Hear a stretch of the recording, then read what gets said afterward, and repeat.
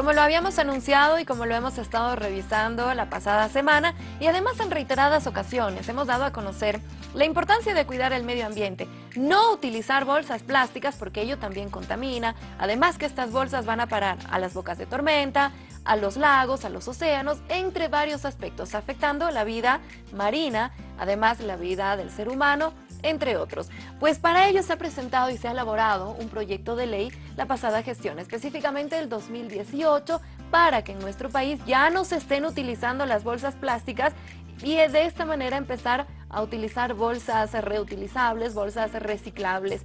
Esto lo estaremos informando a continuación porque ya se ha presentado este proyecto de ley en la Asamblea. ¿Cuál ha sido la respuesta? Pues usted lo conocerá a continuación. Para ello quiero presentar a Iván Rivera, vicepresidente de la Unión Periodista Ambientales de Bolivia, que nos está acompañando en esta ocasión nuevamente. ¿Cómo estás? Muy bien, Lorena, muy bien algo mojado porque en La Paz hace, unos minutos ha estado lloviendo y justo te contaba la anécdota que, que las, las bolsas también, este tipo de bolsas, por ejemplo, que tenemos, te pueden servir también para cobijarse de la lluvia y que, que no te eh, no te moje la lluvia. Qué manera de llover y después salió el sol. Sí, y bueno, es como tú decías, es consecuencia del cambio climático. Eh, ya uno no puede confiarse porque antes en anteriores generaciones uno podía decir, así, ah, de esta época a esta época puedo salir así o no abrigado. Ahora dice, paseño que se respeta, lleva todo en la maleta, Exacto, hay que salir con todo. Hay que salir con todo. Bueno, entrando al tema, hemos estado este fin de semana en la Feria del Prado, eh, con la promoción de lo que es el Desembolsate Bolivia, con, esta bolsita eh, y otras más, ¿no? Entonces, eh, y la gente está muy, muy eh, entusiasta, sorprendida también y quiere utilizarlas. Incluso querían comprándolas y estas nosotros las hacemos de forma manual y para que se den cuenta, esta le sale unos 2.50 bolivianos hacerse esta bolsa, este tipo de bolsa. ¿Y nos dura? Y les dura, bueno, no, no como las otras bolsas, las plásticas que pues están eh, un minuto en tus manos y de 150 a 500 años en la tierra.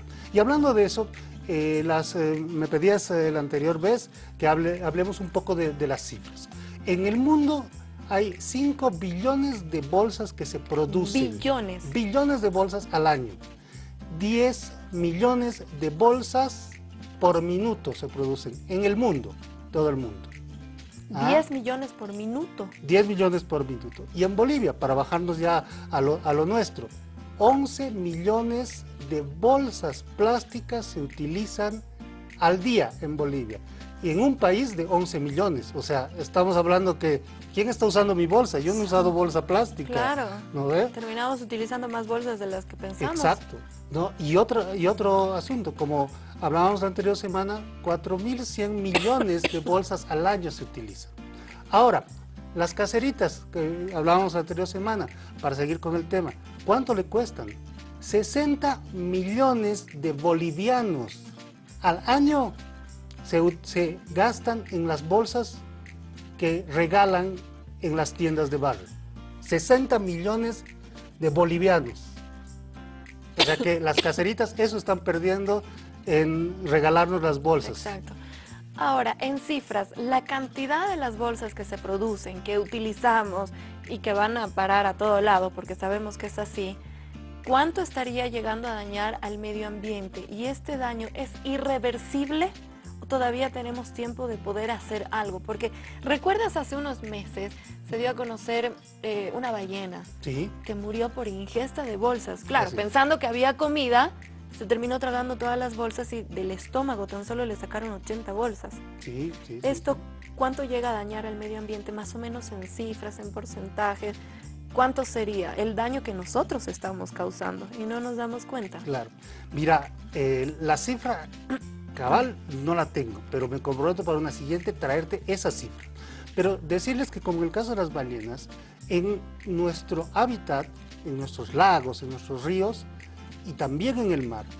Las bolsas plásticas, ya, en algunos casos están flotando. Sí.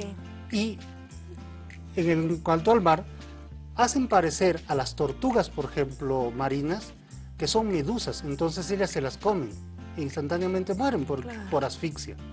¿no? Entonces, es, es un daño realmente irreversible en el caso de, las cosas, ¿no? Pero todavía hay proyectos que se están haciendo a nivel mundial para la reducción, ¿no? Y también para el tratamiento de eso, la limpieza de los eh, lechos marinos, ¿no? En el caso de Copacabana, por ejemplo, hay varias iniciativas de instituciones privadas en limpiezas. Con esto de que es la, mm, eh, eh, las actividades que tienen ¿no? de, para reducir un poco esto. Entonces estamos por buen camino porque la gente se está concientizando.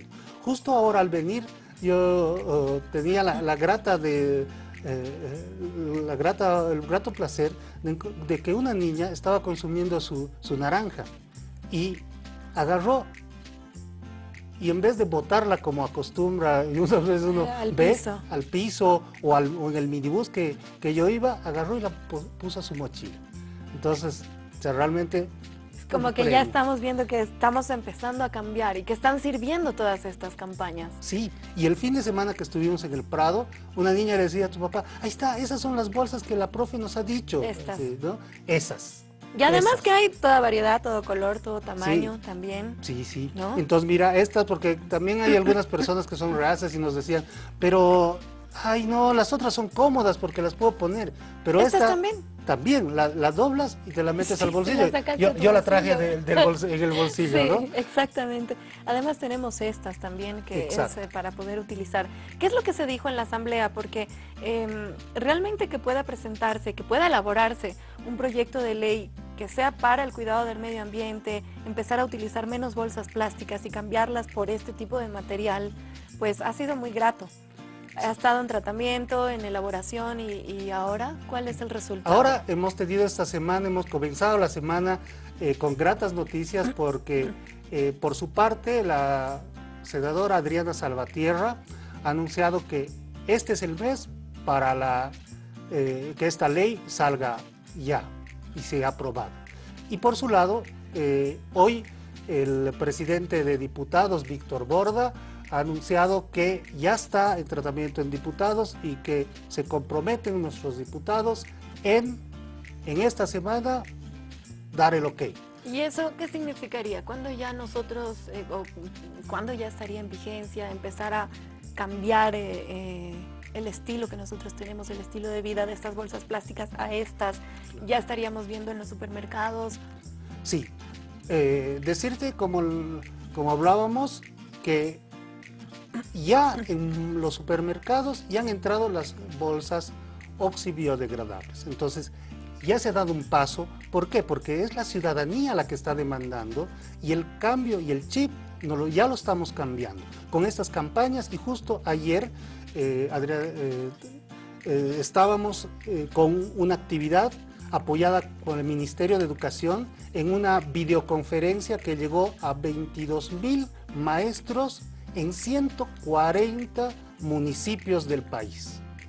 Y donde eh, nuestro presidente Carlos Lara y el otro vicepresidente que es Nelson fueron los que expusieron a los maestros eh, lo que te estamos eh, lo que estamos hablando contigo no cuál es la llegada de esta de esta ley no futura ley que está en iniciativa ciudadana de la reducción y próxima prohibición de las bolsas plásticas. ¿Y se tiene previsto también diferentes campañas en unidades educativas sobre este tema? Sí, sí. Justo eh, ayer em, una de las componentes eh, de la Unión de Periodistas Ambientales de Bolivia, que es profesora también en Oruro, ha presentado una canción en su unidad educativa y que ya está dando la vuelta al mundo, podríamos decir, porque ya está en nuestra página de Facebook, que tiene miles de seguidores, gracias a esta campaña, no gracias a nosotros, porque nosotros, esta no es, eh, como decía, eh, decimos nosotros, no es, una, no es una labor política, nosotros no estamos por política en esto,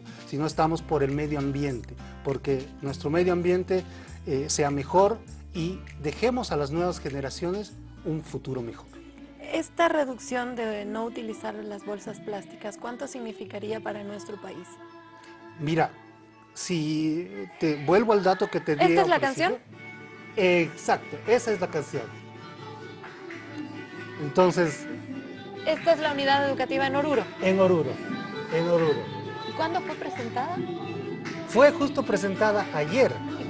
¿Qué edades tienen los niños? ¿Entre 8 o 10 años?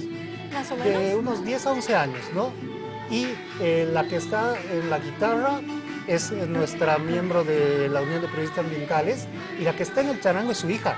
Ah, es la hija también que forma parte ahora de eh, este video que se está haciendo viral. Claro, mira, que ya se ha hecho viral y ya está en las redes sociales. Eh, estamos muy contentos por eso, porque la gente está demandando esto y estamos entrando en conciencia. Iniciativa también de los mismos estudiantes, ¿no? En varias oportunidades. Así es, y se ha lanzado justo una, una campaña a nivel nacional eh, un concurso en realidad para unidades educativas, para la innovación, que sean las propias unidades educativas las que, comunidad educativa, planteen soluciones a esto.